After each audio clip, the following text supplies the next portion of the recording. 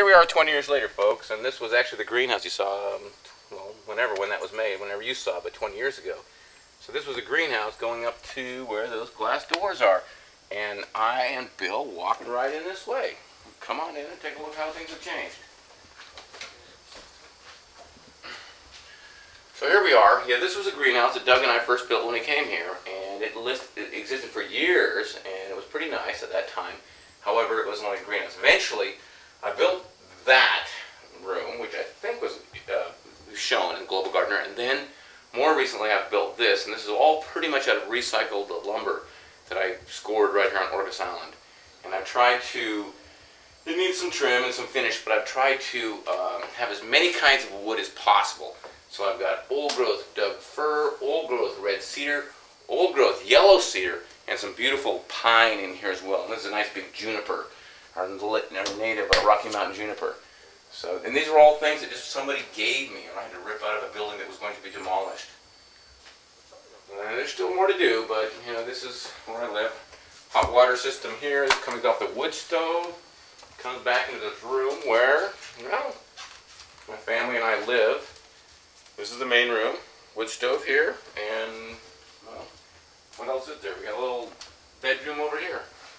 So this is kind of what that whole place has evolved to over time.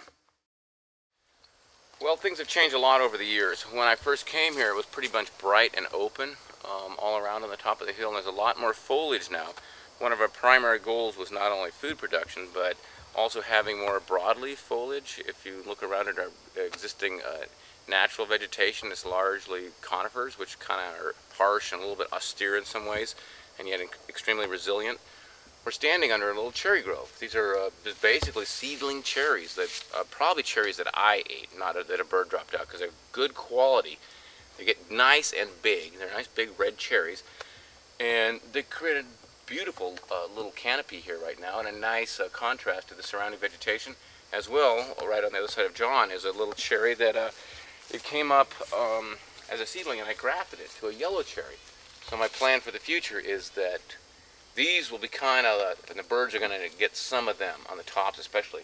And this, because it's in close proximity, will to the birds seem not quite ripe yet, and this might have the ability to get extremely sweet, and this is something that my family and I can really eat.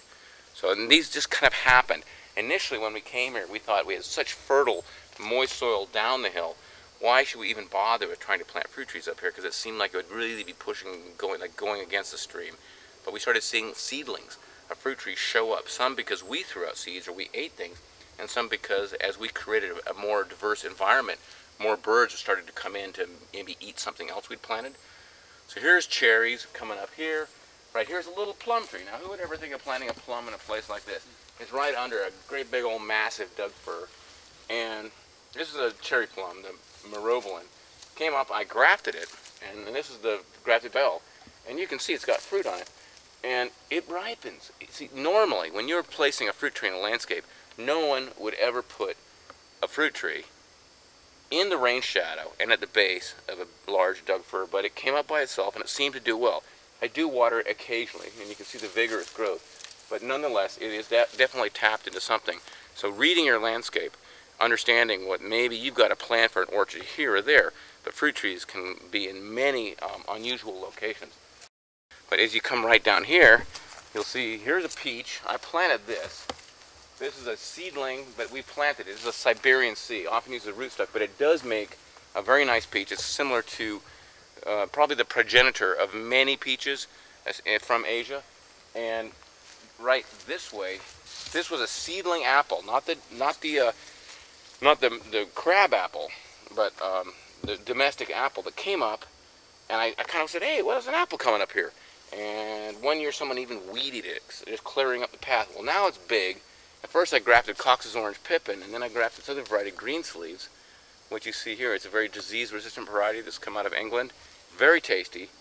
And what I like about this tree, uh, it'd be nice if there was more um, apples on it right now for the sake of effect, but it was not the best year for us because of rain at um, bloom time. This branch here, um, this is the original seedling. And last year, for the first time, it made fruit and it was fantastic fruit. It might be a seedling from a Red Delicious, which is actually not a garbage apple if you taste the original Red Delicious.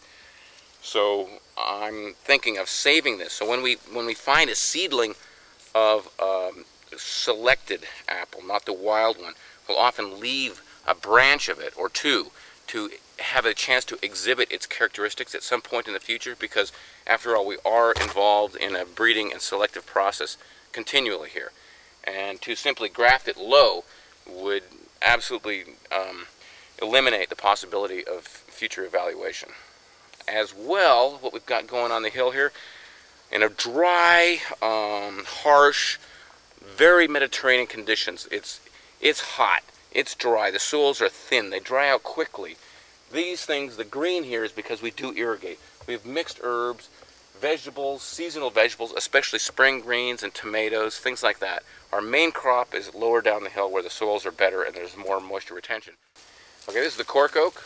This is Quercus suber from uh, the Mediterranean regions. And if you can look closely, this is cork. This is what they make wine corks and everything from. It grow it, it thrives in these kind of conditions. So I'm not saying I'm going to harvest the cork, but I could one day. It's just it's just an example of having another resource uh, available and something that I could in the future utilize if I needed to. In a, in a location like this, we're a microclimate within a microclimate. The San Juan Islands are in what is called the uh, banana belt or the rain shadow. We don't get the same rain that most of the maritime Northwest does because of the proximity to the Olympic Mountains and prevailing winds. So we might get 20 or 25 inches of rain a year here. So we take that. Now we take a southern exposure with rocks that get very hot on a hot day and thin soils that are very fast draining. That 25 inches a year is a relative thing because most of that rainfall falls when the growth cycle is not happening. Most of that falls until maybe the end of March, maybe April, and a lot of plants start growing after that. So that 25 inches can be deceptive. What is it actually doing for plant growth? For, for choosing for true survivability and toughness, finding plants from similar climates yeah, so Mediterranean plants are some of our finest plants for conditions like this. But interestingly enough, some of our fruit trees are about as tough if they're grown on their own root, not a semi-dwarf, not a dwarf, but a, a seedling root, a standard tree. And that standard tree will be dwarfed by its environment and its conditions. In a bottomland soil, an apple might get 30 plus feet. Up here, you'd be lucky if it gets 20. So the conditions are going to be dwarfing. And what you see is a result of years of trial and error. Many things have failed simply because, because their water needs were excessive. And I, I'm not interested in supplying artificial irrigation to everything in the landscape around here. Our goal is not simply uh, productivity for ourselves, but it's also diversity. There's fruit trees, there's a strawberry tree here, there's an apple, that's an autumn olive, ceanothus, Another apple over there, Moroccan broom, Saskatoon.